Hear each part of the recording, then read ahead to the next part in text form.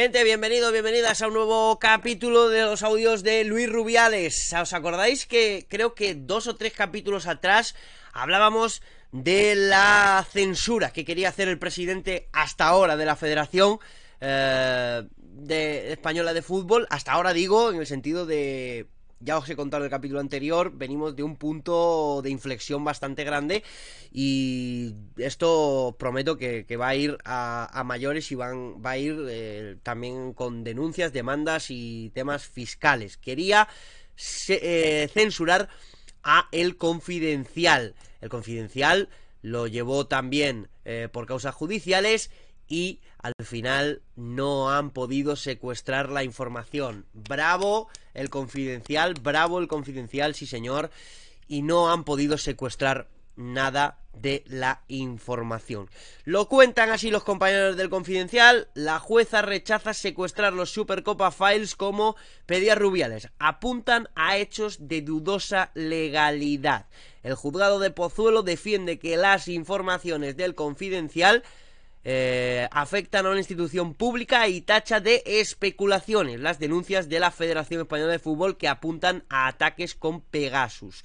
La Federación, Rubiales y su mano derecha, el secretario general Andreu Camps, pidieron este lunes eh, al juzgado que secuestrase toda la información publicada por este periódico en el marco de la investigación de los Supercopa Files. Rubiales con cara de payaso, es más, seguramente en la, en la miniatura yo habré puesto una cara de payasito, Rubiales con cara de payaso se queda con que el confidencial va a seguir sacando información. Y esto, creedme, es muy positivo, muy bueno para la libertad de prensa y muy positivo para que nos sigamos enterando de todos los tejemanejes y de todos los chanchullos que se trae Luis Rubiales, eh, sus juntas directivas y demás en la federación. Yo apoyo en este caso desde el principio tanto aquí al Confidencial, como lo que os estoy contando de los audios del Valencia, a Superdeporte, a que sigan, animo, apoyo y a que sigan sacando cosas para que se demuestre en el mundo en el que vivimos, para que se demuestre que en este caso la federación,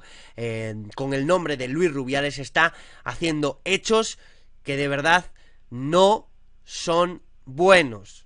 Y ya os digo, el capítulo anterior fue un punto de inflexión y a partir de aquí todo va a ir a peor para Luis Rubiales y a mejor para nosotros porque nos vamos a seguir enterando de cosas y ha entrado el gobierno. Ya os digo, no perderse, este capítulo va a ser muy cortito, no perderse los próximos capítulos porque tiene tela, ¿eh? Tiene, tiene telita lo que se le viene encima a Rubiales que yo no sé, sigo sin saber por qué no ha dimitido todavía. La verdad, es algo que no, que no me explico. En fin, gente, le damos like, nos suscribimos, activamos la campanita, lo que queráis en los comentarios y nos vemos en el próximo capítulo. Adiós.